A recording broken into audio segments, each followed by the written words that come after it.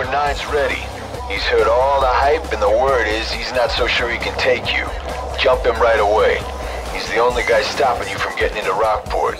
Let's get this done.